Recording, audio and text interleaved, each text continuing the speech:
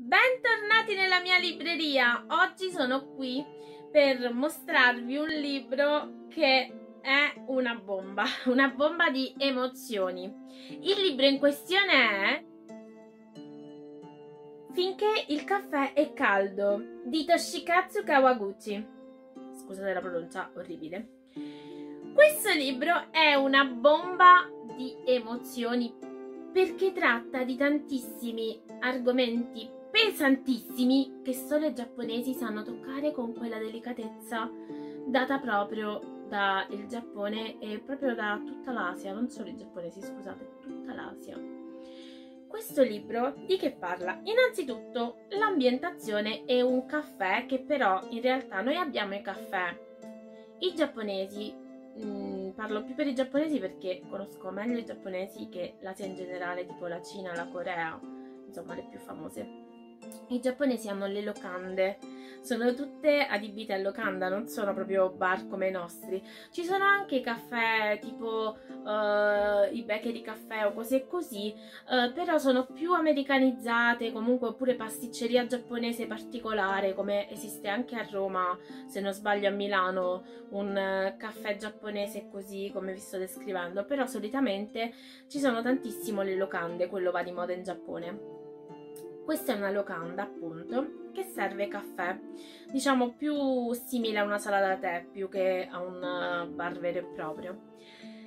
Ci sono vari posti, tra cui ce n'è uno che è spesso, se non sempre, occupato da una donna vestita di bianco.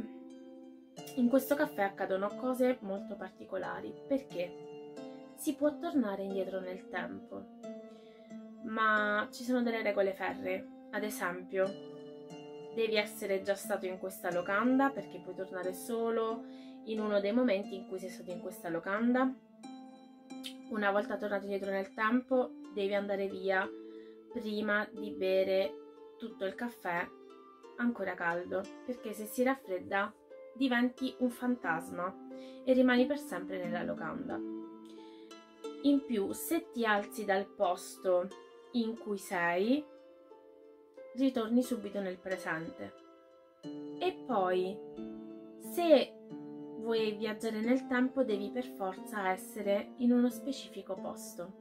Non vi dico qual è.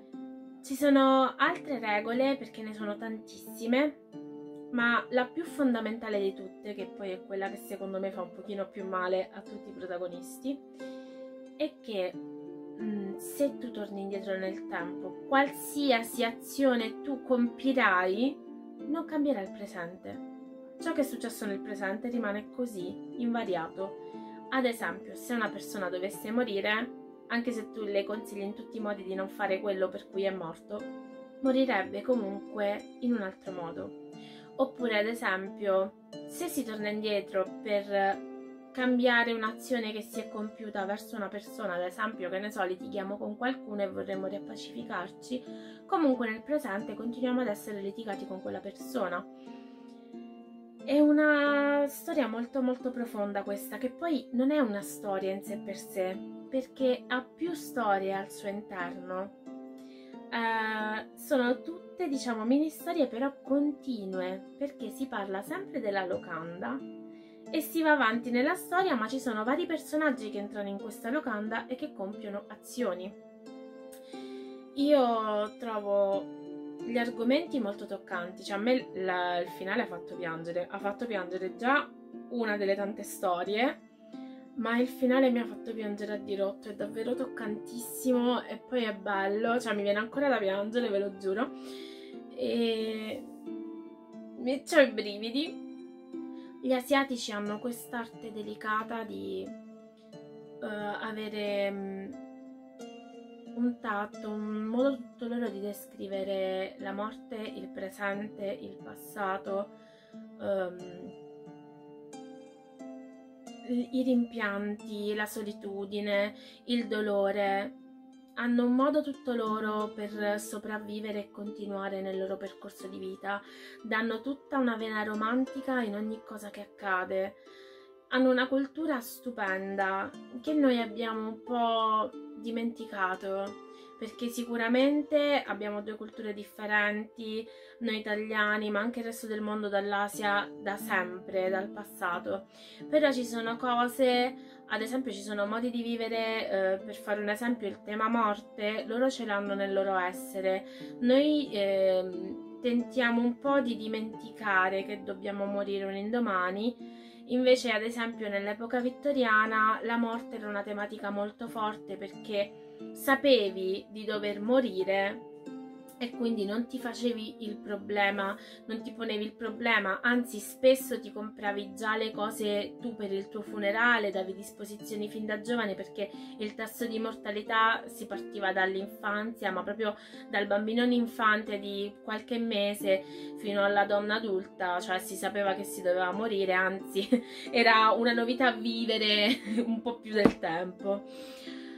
Quindi uh, loro invece questa cultura della morte, di averla sempre vicina e camminarci a fianco, ce l'hanno proprio nel loro essere e l'accettano anche in modo differente, in base a noi che comunque è un tabù, per loro non è un tabù ma è una tematica molto presente. Ci sono varie storie che io non voglio raccontarvene neanche una perché eh, sono un po' spoiler perché sono tutte mini storie diciamo, anche se come vi ho già detto è continua, nel senso che non è che Uh, passa, da un passaggio a un altro c'è un distacco tipo una raccolta di racconti. È una storia continua. Uh, vi dico solo la prima per capirci come è composto il libro. C'è una ragazza che è al tavolo con il suo fidanzato in questa locanda. Stanno parlando di una cosa molto seria e cioè il ragazzo in questione ha deciso, dopo anni di fidanzamento, di accettare un lavoro per l'America che è un'occasione più unica per rara, soprattutto per un giapponese che abita dall'altra parte del globo, per l'America, appunto, senza consultare la ragazza, gli dà direttamente la notizia che lui parte. E lei, convinta che lui non lo ama e che è un egoista, non gli dice di restare, non gli dice niente, gli dice solo ma come ciò che mi stai dicendo e finisce lì. Se non che lei pondera, pondera e alla fine si ricorda che ha sentito che questa locanda ha la possibilità di farti tornare indietro nel tempo.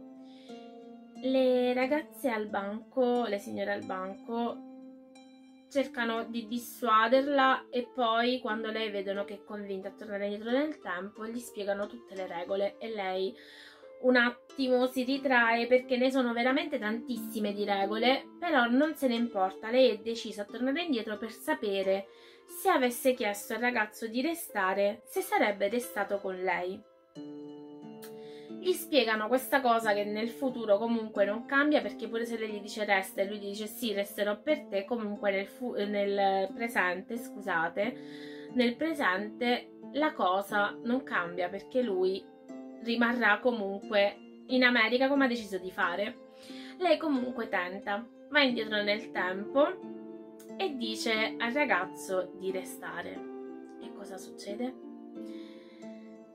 Vi ho già detto praticamente tutto all'inizio su cosa penso io di questo libro, è stata una lettura molto piacevole anche se straziante. A me piace il drammatico, piaceva molto di più da ragazzina, tipo film e libri drammatici a go-go. Crescendo, avendo una consapevolezza un pochino più matura, uh, sto iniziando a evitare un po' il tema drammaticità perché mi fa molto male magari una storia che da ragazzina, tipo Vento di passioni per dircene una, che da ragazzina lo vedevo 20 volte al giorno a cuor leggero facendo Dio no, adesso mi strazia. E poi se volete una piccola parentesi, ho iniziato l'altro giorno col mio ragazzo Squid Game e mi sta facendo bruttissimo ma male male e solo un altro film mi ha fatto questo effetto proprio devastante che io ho anche in DVD ma che non riesco a vedere. L'ho rivisto solo una volta in inglese e poi non l'ho visto più. Ed è 13 se perdi muori. Se non sbaglio in inglese sarà 13 una cosa del genere. Il titolo quello con Sam Raimi. E in realtà ci sono molti attori famosi ma adesso non mi vengono i nomi. Scusate ma mi ha fatto talmente brutto e male che sono rimasta scioccata. Bene, questo libro è un po' così, però io ve lo consiglio. Di questo libro c'è anche un secondo libro, sempre dello stesso autore, e ora ve lo mostro e magari, se non è troppo spoiler, vi leggo anche la trama. Basta un caffè per essere felici. questo è il secondo. A parte che le edizioni ci sono bellissime, A parlare del libro, in sé per sé è bellissimo, Garzanti ha fatto un bel lavoro. L'aroma dolce del caffè aleggia nell'aria fin dalle prime ore del mattino. Quando lo si avverte è impossibile non varcare la soglia della caffetteria da cui proviene, un luogo in un piccolo paese del Giappone dove si può essere protagonisti di un'esperienza indimenticabile. Basta entrare, lasciarsi servire e appoggiare le labbra alla tazzina per vivere di nuovo l'esatto istante in cui ci si è trovati a prendere una decisione sbagliata. Per farlo è importante che ogni avventore stia attento a bere il caffè finché è caldo. Una volta che ci si mette comodi non si può più tornare indietro. E così per Gotaro, che non è mai riuscito ad aprirsi con la ragazza che ha cresciuto come una figlia. Yukio, che per inseguire i suoi sogni non è stato vicino alla madre quando ne aveva più bisogno. Katsuki, che per paura di far soffrire la fidanzata le ha taciuto una dolorosa verità. O Kiyoshi, che non ha detto addio alla moglie come avrebbe voluto. Tutti loro hanno qualcosa in sospeso, ma si rendono presto conto che per ritrovare la felicità non serve cancellare il passato, bensì imparare a perdonare e a perdonarsi. Questo è l'unico modo per guardare al futuro senza rimpianti e dare spazio a un nuovo inizio. Questa è la trama. Non è spoiler, vi dice solo i personaggi che ci sono e che cosa hanno in sospeso. Io comunque di finché il caffè è caldo sono felice di non avervi rivelato in realtà la storia. Anzi vi consiglio addirittura, se volete leggerlo, di comprarlo così a scatola chiusa. Io ad esempio non ho letto la trama, ho sentito parlarne bene, lettura giapponese e ho voluto a scatola chiusa averlo. Questi sono i due, che poi si collegano se vedete guardate che belli cioè due edizioni bellissime gardanti grazie bellissime. Poi il costo è di 16 euro l'uno. Ormai i libri stanno diventando un po' eccessivi e un po' per benestanti però è una bella edizione almeno nonostante sia inflessibile. Io ve li consiglio perché sono sicura che il 2 è identico all'1 mm, perlomeno come modalità di scrittura. Quindi ve li consiglio. Se piangete chiamatemi che vi faccio sostegno morale, come avrei voluto che fosse fatto a me quando ho finito questo libro e purtroppo non ho avuto perché non ho letto nessuno della mia cerchia. Per oggi è tutto, io vi saluto con questi libri dalla mia libreria e ci vediamo al prossimo video. Ciao ragazzi!